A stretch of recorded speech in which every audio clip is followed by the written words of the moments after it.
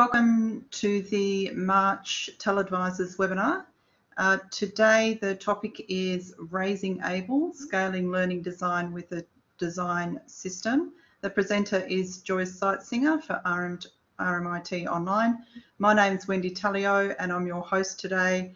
We've also got Colin uh, Simpson who's probably going to monitor the chat and uh, I'm going to introduce Joyce and then I'll hand over to her. So Joyce is a Learning Designer Director at RMIT Online, the online education arm of RMIT University. She's an advocate for learning experience design at scale as a tool for driving digital transformation in education.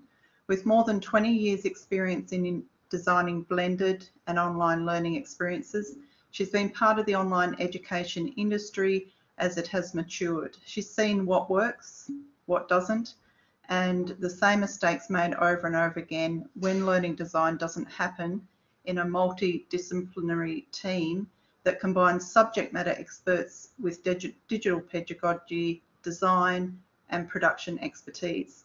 So thanks very much, Joyce, for running this webinar. Over to you. All right. Hi, everyone. Um, welcome. And to be honest, at the beginning of this week, I was thinking of reaching out to Wendy and Colin and checking whether this was still the right session to run, because I can imagine that we've all been in a really strange world for the last two weeks, um, and that people might want to focus more on some practical tips and tricks for um, for how to um, you know manage their day-to-day work now that our work lives have been completely overhauled. Um, however, um, one of the things that's actually allowed myself and the team to make this shift relatively easily is the fact that we had already built a design system. And it's been very interesting the dichotomy in our household. So, for those of you who don't know, my partner is Mark Smithers, and he works at RMIT University proper and our work lives obviously we're both now working in the same in the same household but the things that we work on are very different. I am still able to continue working on the typical projects that i was working as we've been able to shift online quite seamlessly whereas his day is now consisting of using uh, uh, consists of basically supporting academic staff and i'm sure that that's the same for everyone else. Um, and uh, and what I realized and what we realized as we were talking about this, it's all very fascinating, is that while he while some members of his team should definitely be doing that day-to-day support, some other people need to cordon off time or be cordoned off altogether in order to start building out for like the next phase and start putting together what their design system is going to be. So uh, from taken from that perspective, I think this session can still be uh, really helpful, uh, but I'm also really willing to like just chat about other things and make sure that we've got enough time to just be exchanging some practice. Um, so with that, I am going to do, we've got, there's about 30 of us and I'm going to do a quick, what we like to call in our team, a circle of love.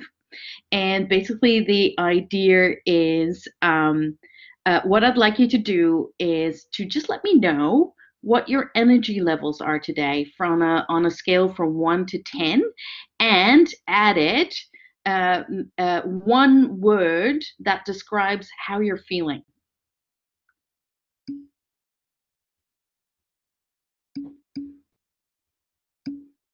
A three, a two. We've got some sixes. Someone's got their birthday. That's awesome. Mostly spent. Nine, good. I have to say, for the people who are scoring lower than seven, um, you know, thank you for showing up today because it shows that you know you're still interested in uh, in reaching out and connecting to people, which sometimes can be really, really hard. That's great. Thanks, everyone. Um, for me, it's definitely an eight. Um, and what I'm feeling is uh, really creative.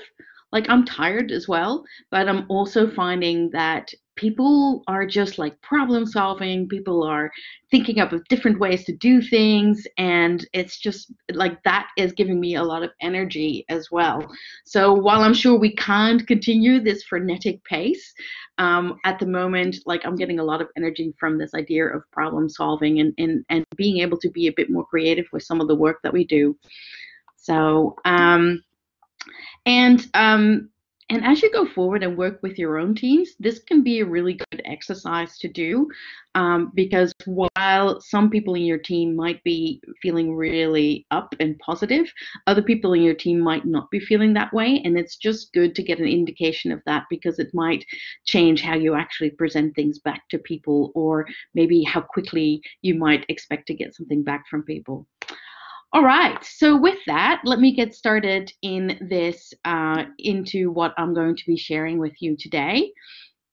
So I'm going to be talking about our uh, learning design system and also how it's helped us to actually scale learning design. And I wanted to start with sharing a little bit about why myself and the team need to scale learning design.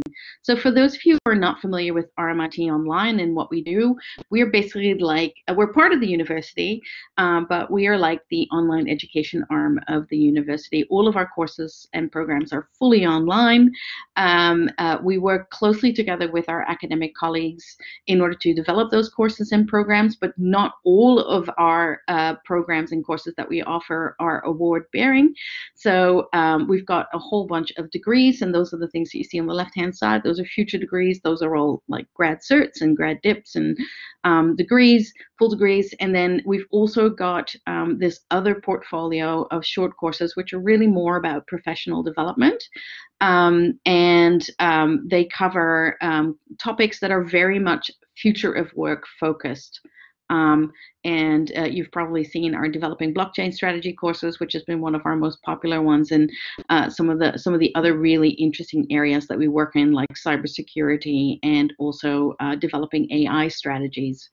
Um, so that just gives you an idea about just like what the breadth is of the types of courses and portfolios that we uh, do learning design for.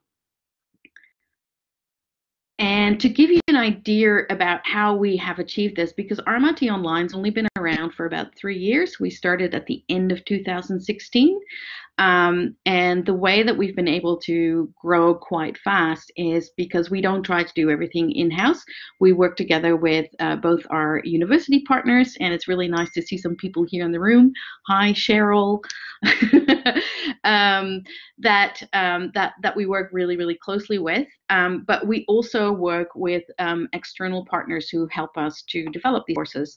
So uh, when you look at this, you can see that we've basically had four distinct portfolios. One is our accelerated postgraduate, which means uh, that students do things uh, or do an entire semester's worth of work in about six weeks. We have our non-accelerated undergraduate and postgraduate um, we have our future degrees, which is a new type of portfolio that we rolled out last year. We basically run four teaching terms each year. Um, and then we have our future skills, which are the professional development courses that I was talking about. And as you can see, we work with different partners for different parts of the value chain. So whereas with accelerated postgraduate, we have the same partner for student acquisition and course build, we then have a second partner that actually help us do the teaching and delivery. And then we've got various different things um, that we do for each of the portfolios and different choices that we've made. Um, it's allowed us to grow really quickly and to roll out new programs really quickly, um, but it also means that we've had to develop real expertise in doing the management around those partners. Oh, that doesn't look good. Oh, sorry guys. Um, obviously Collaborate doesn't like some of my formatting. Let's hope that doesn't continue to be a theme. Um, a theme with collaboration. Sorry. All right, fingers crossed. if it doesn't work, I might just switch over to sharing my screen. Is that possible, uh, Wendy? Sure, you can do that. Yeah. Yeah. I'll all right. I won't do it for now, but if it continues to be like this, then I will. Um, but basically, the idea, uh, the thing that I had in this slide that I wanted to share with everyone is the fact that all of these um, different portfolios also have like their own, um, and I'll just forward to the next slide, so we're not getting cognitive overload. Um, but basically, the idea is that every single one of those portfolios has got its own style and of like how it is delivered. So the accelerated postgrad, for instance, has six teaching periods a year. The new in-house portfolio that we run has four teaching periods a year. Um, the um, the short courses actually start twice a month. So, in terms of how many different partners we have, how many different teachers we need to onboard, how many mentors we need to onboard, um, we've got about 31 go lives. So, we are always either going live or about to go live. So, in order to do that, we really depend on working closely with our partners. Now, that's been great for the last two and a half years. This year, we are actually looking to deliver 150% uh, of what we did last year. So we really needed to scale up even more. So this year, what's happening is that in terms of our build partners, and we have we make a distinction between build partners that we work with, that's like other learning design companies, and discipline partners. And discipline partners can be both our industry partners, our academic partners at the university, and sometimes other uh, expertise partners that we have. So um, we started, and current the current state has been, or at least at the end of 2019, was we had three build partners, four different types of portfolios, and about 50 discipline partners. If you think about them in terms of different organizations with that we work with, and also different schools and uh, program teams that we work with at the university. Um, this year in order to meet like the uh, the increased uh, roadmap that we've set out um, we are looking to scale up to eight build partners. Um, we are also looking to add a new type of portfolio as we start to increase um, um our b2b um, uh, type of offerings and as a result, we are also looking to onboard more discipline partners. So you can see that our ecosystem is not getting any simpler. It's just going to uh, increase growing and it's just going to start um, getting um, more complex. And so the problem with that for us is that um, we need to make sure that the learning design quality of every single one of those courses that we build with all of those different partners involved is always of at the level that we want um, that we want to offer our students. And the, as we know, most of the people here have done some learning design. Some of you might be more on the education technology side now, but almost everyone in this room will have done some learning design at some point. And the fact is that, um, actually, before I go into that, if everyone can just pop into the room what their original degree was in. And I will put mine in. Um,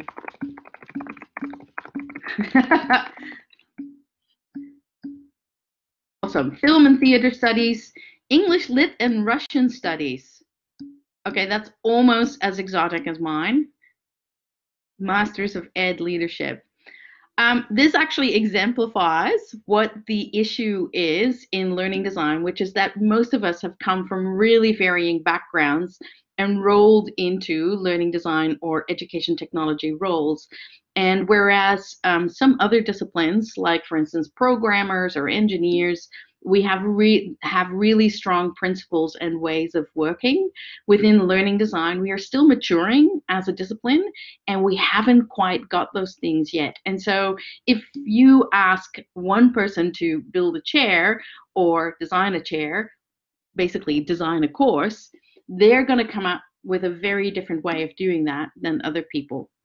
And so, if we are trying to provide a consistent experience for our students, we need to provide some kind of guidance about how, what that experience is and make sure that across that entire complex ecosystem of learning design partners, multimedia developers, uh, industry partners, and academic partners, that we have a shared language for working with each other, uh, one that actually um, ties us all together, gives us an idea about how we are going to um, to work together effectively and to a certain standard. I do love the diversity that I'm seeing in here. I typed mine in uh, just at the top, but mine's a bachelor's in Celtic studies, um, which I think gets topped by Anthony's English Lit and Russian studies. So um, and so that's really where the idea came from from uh, for us to start building our design system so that we can work effectively with these um, eight um, uh, eight different learning design partners and 80 different um, discipline partners. If so one of the things that I've noticed over the last two weeks, um, there's been a bit of noise about this on Twitter and I think also in Campus Mail, I'm not sure. Um, uh, but basically, um, that with the pivot to online, by the way, if you're looking to it, you, you on Twitter, people are either using the hashtag pivot online or pivot to online to denote the big shift that all the universities are having to make in moving to teaching online. And one of the things that I've noticed is that people are really struggling uh, or that some managers in the higher ed are really struggling with how do they manage a remote workforce.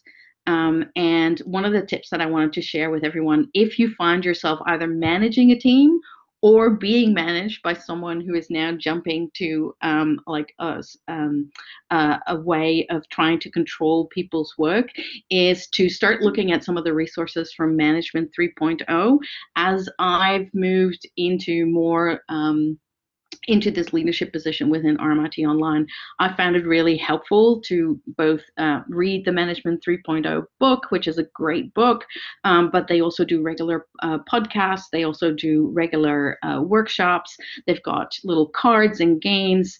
Um, and, and the big thing that they are all about is that when you are a leader in this kind of new workspace in a place that is all about digital transformation, you can't manage the people, you have to manage the system. And that's very much what we're doing with uh, the way that we're working both with our ecosystem partners and also with the, what we've set up when, in our uh, ABLE learning design system, which I'll be talking you through. Uh, so I just want, I added this uh, at the last minute this morning as this discussion has been raging around Twitter and raging, you know, in our professional conversations, I thought this is actually something that has helped me to do the thing that that I'm going to present to you next. And I just wanted to put it out there because they are a great resource. Um, cool. So um, so there's been long there's long been calls for us to formalize how we design for learning. Peter Goodyear has written a lot about this, and I know a lot of you have been students of his. Diane Laurillard as well, and Eileen Scanlon, all really aiming for people to start really thinking about how do we design for education, uh, and that we need to get more formal about how we do that and have like shared professional practices around that. And one of the things that I started to look at is look at how other disciplines manage this. And when you look at um, uh, disciplines like UX, like CX, um, like uh, web development, what they do is they start looking at a design system. And there's tremendous, again, there's are enormously valuable resources out there. Uh, this is one of the better ones. It's shared. It was created by uh, the people who run InVision. Uh, it's an open handbook on what design systems are. And I think one of the things that probably speaks to us is this uh, top paragraph here, which is that design is struggling to scale with the applications it supports because design is often still bespoke. And I think that's where we sit with learning design. And also, like as I'm hearing the conversations that my partner is having with the staff that he's supporting, it is still very much like listening to the problem and then coming up with a solution that is customized and bespoke for that person rather than you know trying to develop something that is for the entire system.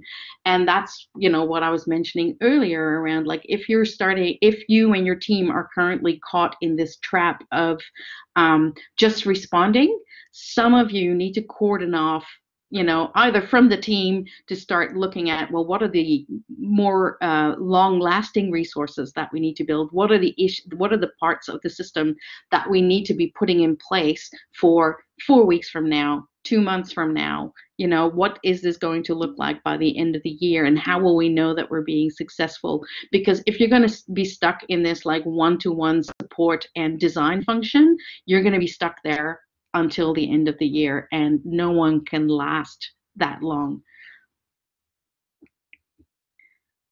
Um, so uh, if you're if you're looking for a bit of a weekend read or um, thinking like, okay, this this sounds like something I might want to get stuck on, this is a great free resource uh, to get stuck into, and it takes you to the through like some of the basic principles, and um, some of the things that are in there are very are you'll find uh, are very often uh, focused on web development, and so that you will have to do some translation to the education work that we do, and that's something that myself and the team are working on on all the time. Um, so who do design systems serve? Basically, the design systems should be serving our teams as users. So the idea is that if you have a design system, then you can stop talking about what the work is and you can start actually focusing on the problems. And so when we think about our design system and who it serves, it's basically um, our internal learning designers, it is people like Cheryl, who's in the room here with us, um, to give her an idea about like what are the quality standards that we're setting. At, she is our liaison person into the colleges at the university, so she can be communicating with staff about you know what are some of the expectations, what are the processes that are that that you can expect when you start working with RMIT online. Um, the other people that our design system serves are our learning design partners and the learning designers in those teams, the multimedia designers in those teams, the videographers in those teams. Um, so you really have to think about it as the people that help you build your products. Those are the users of your design system. Um, some really great examples of design systems. Again, most of these are open. Thanks, Wendy, for scribing along uh, in the in the chat window. Uh, so this is Atlassian, and um, uh, some of you might be becoming very familiar with the Atlassian suite of products at the moment. Uh, they run um, they run um, both uh, Confluence, which is a um, like a uh, a wiki for your organization, basically, um, a knowledge sharing platform. Uh, they also run Jira, which is a ticketing system, um, and we uh, are, you know, we we conduct lots of our work through both Jira and also Trello in order to help us manage all the work that we do. But they've been very open um, about their design system, and you can go and have a look at how they've set that up and maybe see which parts of that you can borrow or adapt for your own use. Um, another great um, design system, and again, super open. They write blogs about what they do, etc. Is Airbnb, which I can uh, highly recommend as well. Um, and one of the ones that's probably a little bit closer to the type of work that we do is uh, the BBC. The BBC have had a global experience layer for many, many years. And again, eh, you know, they develop this openly, they share it with everyone. But if you, the reason that I say that the BBC is probably a little bit closer to what we do is that they have a tremendous amount of television program and movie producers, production companies that they work with when they um, you know, um, uh, when they work with those production com- companies and commission a particular program, they want to make sure that they have like all the style guides and all of the other things that they need so that that program feels like it's a BBC program. And I think that is what we're aiming for as well, which is that, yes, we work with all these different learning design partners, but what we want our students to experience is that they feel like they're getting the RMIT online experience. So that's where I think that when we look at design systems, some of these design systems by other content production companies might be closer to what we do than, for instance, an Atlassian or uh, or an Airbnb. Um, one of the um, one of the few, I think, educational companies that I know that are, have really embraced design systems at uh, at a global level is probably FutureLearn and uh, Alla Kholmatova, who uh, did the lead work on some of that, um, has actually written a book, and it's a great book. I highly recommend it, called Design Systems. And what she says there is that without a shared design language and practices, collaboration is difficulty. Uh, and that's really where you, what you want to do is that you want to have a shared design language and practice. Um, for us, you know, with us, with our internal team, and then going outward, like circle by circle, we want to have a shared design language and practices with our learning design partners, with our academic partners, and with our industry partners, so that we all understand what we when we mean by an RMIT online course, and what we that we all have a shared understanding of what we mean by great student experience. And so for us, our able, uh, we so we have uh, adopted a design system and it's still nascent, uh, but growing quickly. Um, and we have called it ABLE. And ABLE stands for Activity Based Learning Experiences. Um, which is that what we've done is we've looked at what the research tells us about great online learning design, uh, great online learning experiences. What is it that will actually make students successful? Uh, we looked in particular at the work that was been coming out of the Open University UK and also FutureLearn. A lot of it led by Dr. Mike Sharples. Um, and this idea that uh, what you really want to do is to uh, make sure that when students are engaging online in some type of distant education um, format, that you want to make sure that you give those students particular activities to engage with. Um, the the research from the Open University UK was a re, there's a really interesting article that they did, um, and oh god, the name of the researcher just escapes me. But it's basically 150. They they did uh, a uh, an overview of 157 uh, learning designs um, ah, thank you, Hans Toetenel and Rienties. they did a uh, an overview of uh, the learning design in 157 of their courses and found that about 60% um, of all activities were assimilative. And what they also found was that um, uh, students would prefer courses that were really high in like um, uh, assimilative tasks. So things like readings and things like, thanks for that, Carmen, uh, things like reading and things like watching videos. And that's what students really want. But they also showed that when that is what the students get, the student results and the student outcomes are actually lower. And um, when we engage students in active learning, their performance goes up, um, but there is a paradox, which is that quite often the students don't like the course as much. Um, so that's probably another battle to be fought within our institutions about how much um, student satisfaction should really count, but I won't get into that right now. But that was one of the drivers for us to say, okay, we are going to be all about learning activities and making sure that we actually help students to be successful in those online courses. So for us, each course has to have a is basically a sequence of learning activities. All of those learning activities are constructively aligned to the assessments each learning activity is actually a combination of a few smaller learning tasks and one of those tasks should give the students an indication of how they're actually going and performing in that activity. Um, we've also set up a set of learning design principles that underlie those, and you can look at these and maybe take a screenshot or whatever, but there is no magic here, people. Um, these are things that you are all doing. These are things that we all know to be true. But again, it comes back to that shared language and the shared understanding. So by codifying it in this way and actually setting it up as these are our learning design principles, it starts to help us give those uh, the, that shared language. So this would be something that um, under each of these uh, principles, we actually have a set of elements. And when we do a learning design audit of a course, that is what we are scoring. And that is what we are feeding back to our learning design partners. So by organizing it this way and actually just articulating it, it means that we then all have a shared language about, ah, you know what, you're actually like in, you're not meeting learning design principle three. Um, you know we we can go and talk to the library about finding some other learning resources etc so it just starts to help you actually measure and track how you work together and how well you're performing against the quality standards that we've set up. What gets measured gets done says hans. Absolutely. That's certainly what we are finding so um, to give you an idea about how we set it up, basically we talk about our learning activities as pedagogical building blocks. Uh, they should have activity objectives.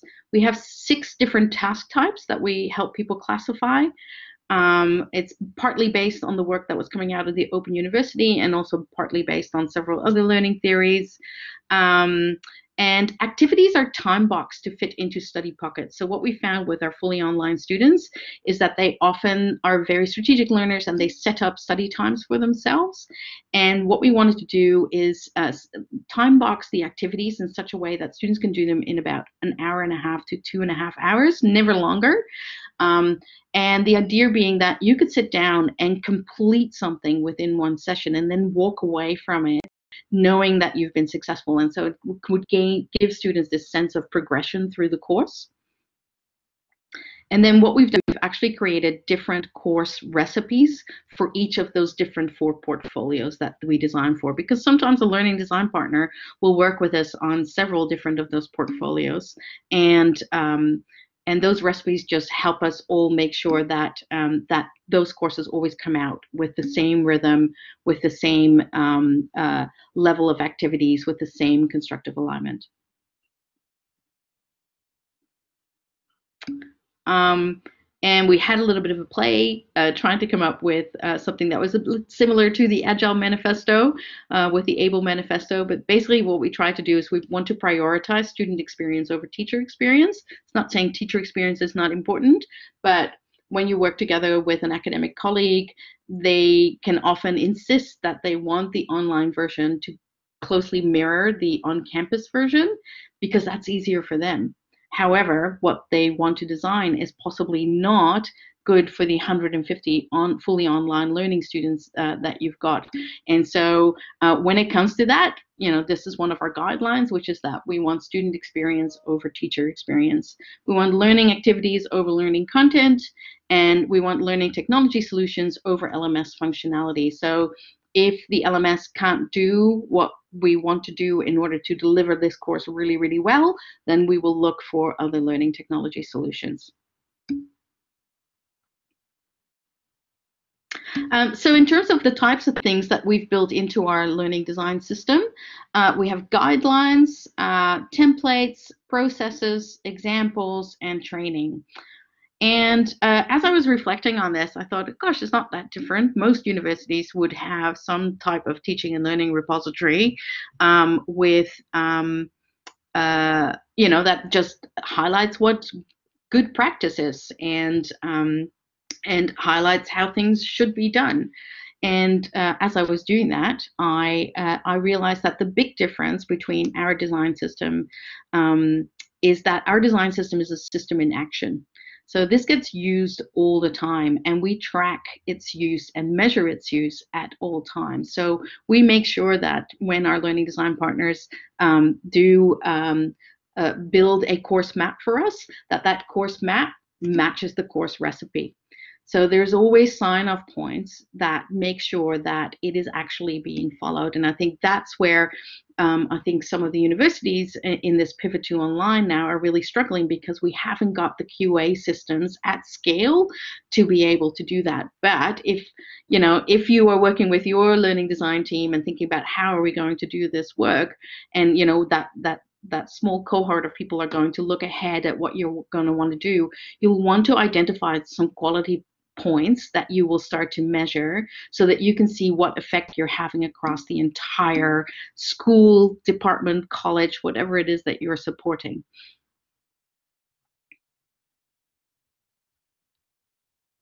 Um, and so the places where we actually do uh, some of that measurement is uh, we have a course map stage, uh, we have a prototype stage. We have a mid-course check-in that's halfway through the build project. Project we we check in with them, and then we also have a final QA. And so those are all the places where we go.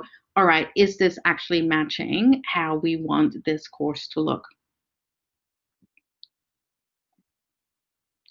Um, and to me and the team, the way that we think about ABLE is that it basically exists in kind of three places uh, very much in the design phase, and that's where we, you know, focus on like templates and guidelines for all of the learning designers and the academic staff that we work with.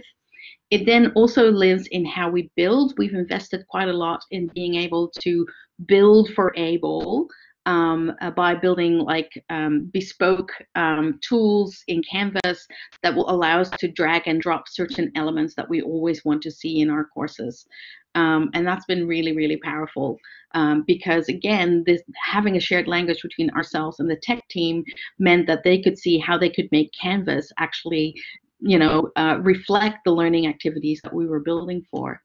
And then it lives in the third place, which is the measure area.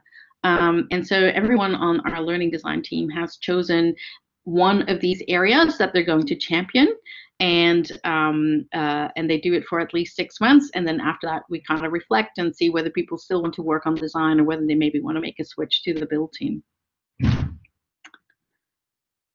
so how do we know that this is being effective? Um, well, since we've introduced the first few principles, which was kind of at the, at the start of uh, ABLE, was about two years ago now, our course development time has gone from 28 weeks to 16. So it's been really great. Um, we, uh, we now have more reliable outcomes. Our internal learning experience design teams now spend 40% less on our course projects, and we've also had improved pass rates. And then we've rolled out a new uh, satisfaction score because we found that the overall satisfaction score from the university was not perhaps giving us an accurate picture because it often measures lots of things that we can't actually control um, with course design. And so instead, um, we've cordoned off a few survey questions that go particularly to how students are finding the course, how are you finding the materials, um, you know, was it clearly laid out, was it easy to navigate? And that's where we really see the jump from 2017 to 2018, which is kind of when we initially started um, uh, managing our portfolio through our learning design principle. You can see it starts to have an effect. I also expect that there's probably only X amount that we can actually get to. I expect it always to hover between the 70 and the 80 and not to really crack that 80 barrier. So in order to now maintain this design system, uh, we really want to work close uh, with our um, uh, with our learning design partners. The idea is that it's not like a one-way street. We actually want to work together with them and make sure that we are meeting their needs, so that when things are not that confused, that are not that clear for them, they can just ask us for like new features.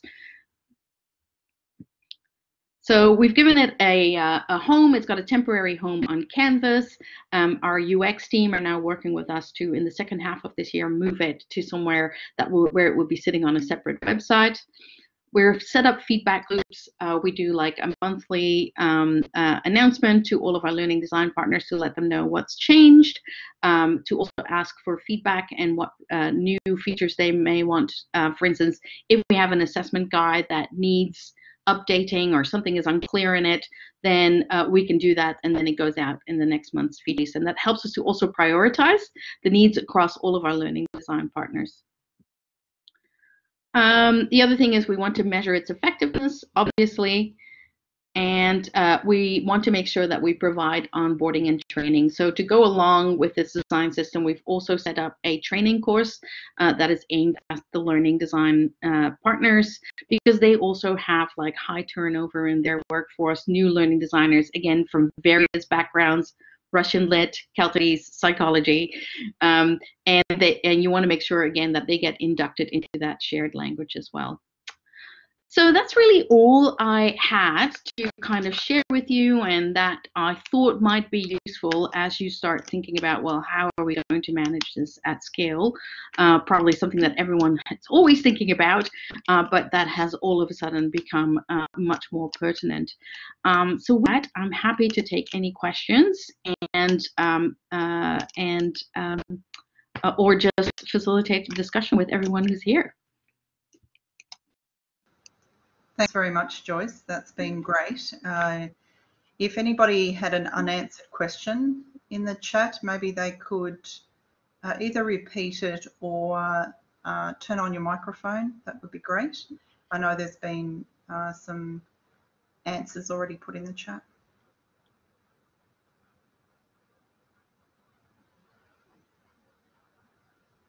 Cheryl, the work of Garrison and Vaughan on online community of practice. Um, do, do, do. Thanks, Hank. Uh, oh, hi, Hank. You look like you might be from my hometown. There is a question from Carmen. What systems do you use to measure the process? Ah, yes. A bunch of stuff. yep. So, uh, good question, Carmen. Uh, in order to measure the process, so we have an operations team and um, they help us to actually track whether our projects are on track. So they very much um, so they very much um, uh, track whether a, a, project is meeting its milestones and meeting its deadlines. And the the the main tool that they do to use to, that they use to do that is a tool called Monday.com.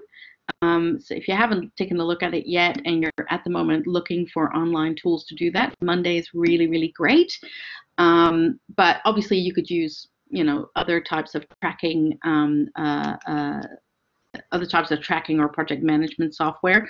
Um, but that's very much what we realized what we need to do is to actually split between tracking whether a project is on time, and that's very much what the operations team do, and then whether the the uh, project is actually on quality target, and that's very much what the learning experience design team do. And so at those various stage gates that I was telling you about, um, we are currently in uh, in the so we already do a review and we feed that back, but we want to make that more explicit. Um, and so we actually want to start issuing like a quality score at each of those stage gates that we can then feed back to the partner. And that way we also start to see whether some partners are maybe you know more more consistently submitting storyboards that meet our quality standards than other partners um, so that's something that's still in development. We do have some measures already in place. Obviously, the course design satisfaction score. Problem with that, of course, is that depending on student feedback. So that's very much a lag indicator. What we're hoping with these other quality scores is that they could be like lead indicators. So actually letting us know that this course might not quite be on target.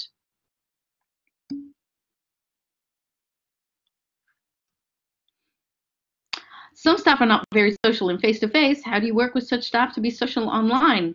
Julian, what a pertinent question. um, so, look, we we tend to run at the beginning of a course of a new course uh, development. We tend to run three face to face, three hour workshops. We always thought we could run them online, but our academic staff insisted that that would never work and therefore we did them face to face. Last week, obviously that the whole world changed, and um, and we very quickly we skipped one workshop, uh, and um, myself and the team worked together in order to see how we could be delivering it fully online. And what I found is that it actually worked better um, there was uh, there was much more collaboration. People had a real focus. So what we did is we created several artifacts that actually help us like to uh, surface the information that we look for in those workshops. And so the course recipe is one of them. Um, uh, like we have some assessment templates that people need to fill out, etc. And by having them all there in the Zoom session together and focused on filling out those templates, it was actually a much more focused activity. Um, so it was really interesting. I actually found it uh, found it really interesting. I think so. I think there are some real aha moments. Yeah, absolutely.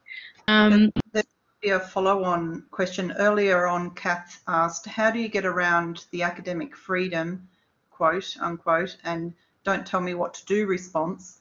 we get in my organisation from some academic staff when trying to get consistency in the student experience.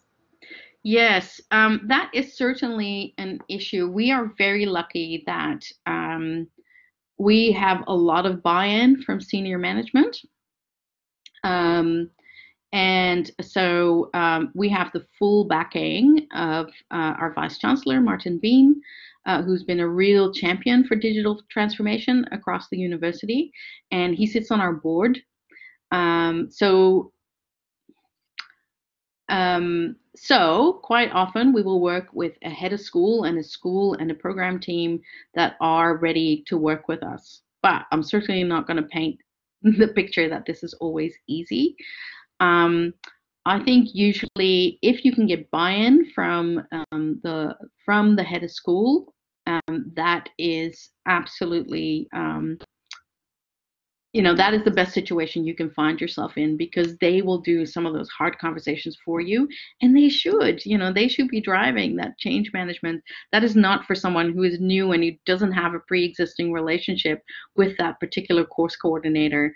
Um, and um, however when it uh, does get harder i think what's really important and and we've done this with our team is to develop kind of like a set of principles for like what is acceptable and what is not acceptable. And again, us having these learning design principles helps us. So when we say we want to do authentic assessment, which is a you know a drive across the university, but those are the principles that we know we are allowed to escalate against. So if we run into that, you know, TikTok of people saying like, oh no, I'm going to hang on to my online exam or my face-to-face exam, we know us in the learning experience design team know that because that is a principle that is one that cannot be compromised and therefore we are perfectly uh, um, uh, at rights to go and escalate that with our partnership team. So we have a dedicated partnership teams who do all the relationship management with the schools. Uh, and if we can't get to it there, like we have an escalation framework to to have those discussions. Uh, and and and again, really powerful when you come at it from it's always about the student experience what we're trying to safeguard. This is not a you know this is not a turf war. It is really about we know and we can prove from our quality scores that this is needed for to provide a good student experience. So i think if that's always that student experience advocacy is always at the heart then i think you're always going to be in a really strong position. There's just a couple of questions. Uh, you talked about the those guidelines and that might answer some, uh, to some extent, Chris asked, do the online units have the same lecturers, educators, or do they change around? And, and then Maria asked, how do you get these guidelines across to teaching staff? Mm. So the um, do the online units have the same teaching staff? In some cases, yes. In some cases, no. But the role of the teaching staff in the online units is very different. Um, uh, the teaching staff at the university are um, only are uh, are there as course coordinator, and uh, we have online facilitators that support our students um, in, in the delivery of those courses. And the course coordinator basically touches base with them at the beginning, and then usually like before the first assessment and then at the end of the course. Um, so quite often they will have been involved in originally developing the course, but we've got some courses that are as old as three years now and you know have to have changed course coordinators several different times. What we do get a request for is people who want to leverage the online materials to go back into their classroom materials, which is I think is a great development sorry, the second question was around getting the guidelines to the academics. Uh, we run a pre-development session with all of the academics. That was something that we've learned through um, uh, trial and error, uh, which is that we found that if we didn't run the pre-development sessions, sometimes academics would come into the first design workshop and um, raise issues that we couldn't um, that we couldn't immediately resolve as part of that design workshop and then it could really slow it down for everyone. So instead what we've done is we now run a pre-development session usually about two weeks or maybe a week before the actual first workshop and we'll discuss things like assessments. Do you think that there's going to be issue any issues with that? Um, do you think that there's going to be any issues with anything about the course experience as you currently deliver it? Um, just things like that, just to highlight anything that we may need to solve behind the scenes so that when we then get to the first design workshop, everyone's free to really engage with that. And during that pre-development session, that's also when we'll get people across our learning design principles, um, the guidelines, what the process is going to be, and what they can expect. Great, thank you very much. Uh, okay. So we, we might wrap up there. If you've got further questions uh, for Joyce, you can get in contact with her. Her contact details are, you can find them on the web and on Twitter. Yeah. And and we're going to uh, just reserve the last 10 minutes for a general chat. So a round of applause in the chat, please, for Joyce. Thank you so Thanks, much. Thanks, everyone. And don't forget to get up as we all chat together. Yes stretch. I'm going to get up. and go out and see some sunshine when this webinar is finished. That's the recommendation. Thanks, everyone. Lovely comments. I really appreciate it.